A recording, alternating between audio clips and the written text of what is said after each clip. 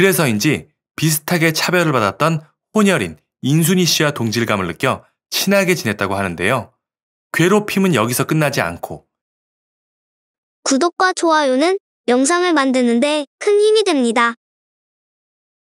가수 주현미, 80년대를 풍미했던 대단한 가수이죠. 근래에도 방송에서 그 모습을 볼 수 있으며 요즘 시대의 흐름에 맞게 자신의 유튜브 채널까지도 운영하고 있는 1961년생이라고는 생각되지 않는 굉장히 부지런하고 자기 관리가 철저한 그런 가수가 아닌가 싶습니다. 별다른 사건 사고가 없이 오랜 세월 대중의 사랑을 받은 가수 주현미 씨. 하지만 절정의 인기를 달리던 그 시절 그녀도 남에게 말 못할 가슴 아픈 사연이 있었다고 합니다. 오늘은 주현미 씨의 이야기를 해보겠습니다.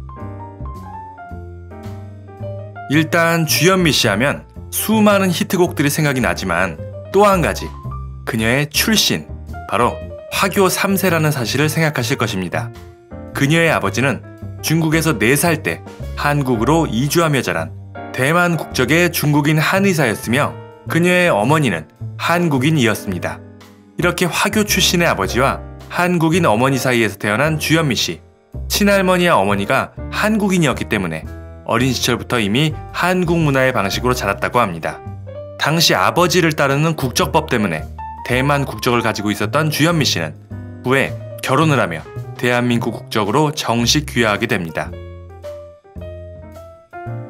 한의사였던 아버지의 영향 때문이었을까요? 주현미 씨는 중앙대학교 약대를 나와 약사 면허증을 가지고 있는 엘리트 연예인으로 불리기도 합니다. 실제로 주현미 씨는 가수로 데뷔하기 전 대학교를 졸업하고 약국을 운영하기도 하였습니다. 하지만 수줍음이 많은 성격에 원칙을 고수하는 성격 등 사업 수완이 좋지 못하여서 약국은 손님이 별로 없었고 결국 약국은 일찍 문을 닫게 되었다고 합니다. 훗날 주현미 씨가 멋진 노래로 사람들에게 즐거움을 줄 것을 생각해보면 이때 약국이 잘 안 된 것이 한편으로는 천만 다행이 아닌가 생각이 됩니다. 운영하던 약국을 그만두고 가수를 한다고 하니 대성통곡을 하였다는 주현미 씨의 어머니. 사실 주현미 씨는 이미 어릴 때부터 노래의 재능을 보이며 중학교 2학년 때 첫 음반을 발매한 적이 있다고 하는데요.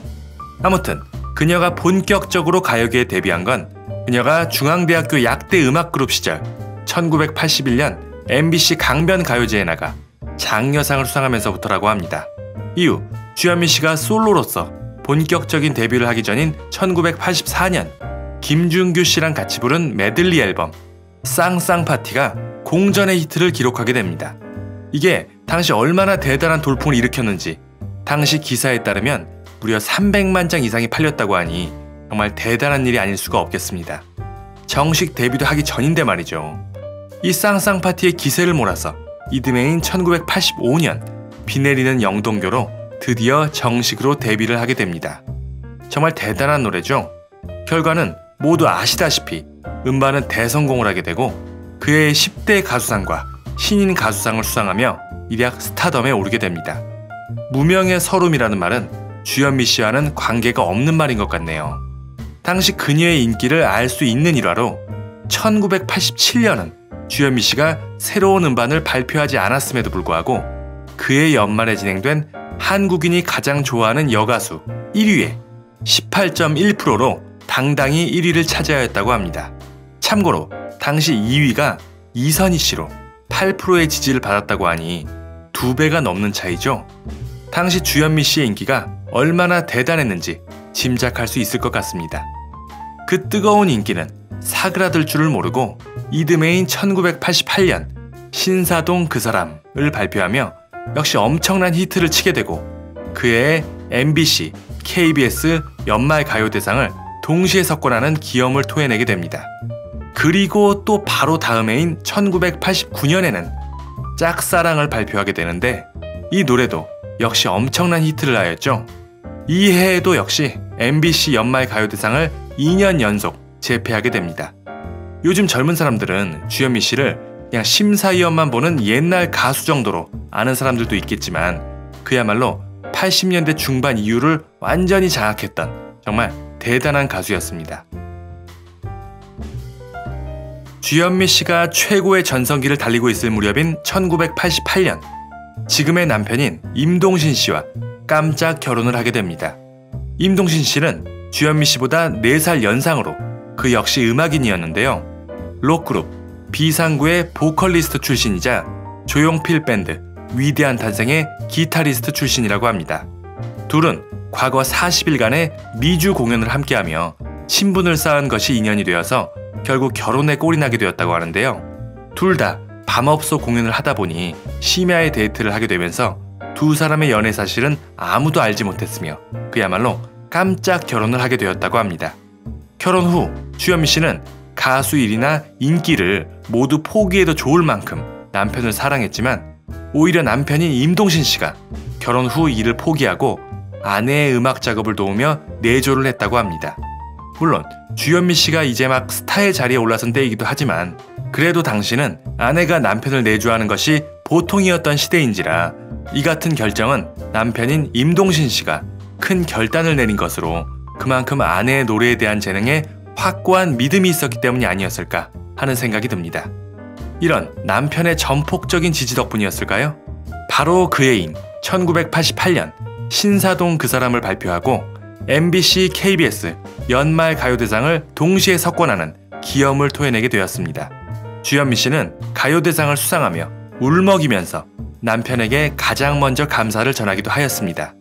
그리고 다음 해인 1989년엔 짝사랑을 발표하며 가요대상 2연패를 하게 되죠. 이런 걸 보면 역시 가정이 편안해야 밖에서의 일도 잘 풀리는 것 같습니다. 그런데 한때는 주현미 씨의 이혼 루머가 돌기도 했다는데요. 주현미 씨는 결혼 후 30년 동안 남편과 함께 방송에 나오고 난 적이 한 번도 없었다고 합니다. 그래서 그런 루머가 돌기도 했었는데 당연히 이는 사실이 아니고 근래 들어서는 둘이 함께 방송에 나와 여전히 사이가 좋은 모습을 보여주었습니다. 그리고 둘 사이의 자녀들인 아들과 딸 모두 음악인의 길을 걷고 있다고 하니 음악인 부부의 피는 못 속이나 봅니다. 이렇게 가수 데뷔 이후 힘든 일 하나 없이 탄탄대로의 화려한 삶을 살아온 것 같은 주현미 씨. 하지만 그녀도 가수 생활을 하며 말 못할 어려움이 많았다고 합니다. 그것은 바로 그녀가 화교 출신이라는 것. 지금은 그래도 다문화 가정이나 외국인에 대한 인식이 전보다는 나아졌지만 예전에는 다문화 가정이라는 말조차 없었죠. 당시 사회의 분위기는 보수적으로 어렸을 때는 물론이고 가수 활동을 하면서도 차별을 많이 받았다고 합니다. 당시 주현미 씨가 상을 타면 왜 외국 가수에게 국내 가수상을 주냐 라며 비아냥대는 기자가 있었을 정도로 한때 대만 국적인 그녀에 대해 따가운 시선들이 있었다고 합니다. 그래서인지 비슷하게 차별을 받았던 혼혈인 인순이 씨와 동질감을 느껴 친하게 지냈다고 하는데요. 괴롭힘은 여기서 끝나지 않고 육아를 위해 방송 일을 쉬었을 때는 20년간이나 에이즈 감염설, 사망설, 이혼설 등등 그녀를 향한 수많은 근거 없는 루머들이 퍼져나갔습니다. 화도 나고 어이가 없어서 확인해보니 에이즈 감염설을 썼다는 기자는 확인도 안 해보고 그냥 한번 써본 것이라고 하니 당시 주현미 씨에 대해 알게 모르게 얼마나 주변의 시선이 따가웠는지 짐작할 수 있는 대목입니다. 걱정 없이 화려한 연예계 생활을 했을 것이라 생각했던 주현미 씨가 말 못할 괴로움이 컸을 거라 생각이 됩니다. 하지만 그것도 이제는 과거의 일. 지금은 다시 활발한 활동을 하며 후배 가수들에게 좋은 영향을 주고 있다고 하니 참으로 다행입니다.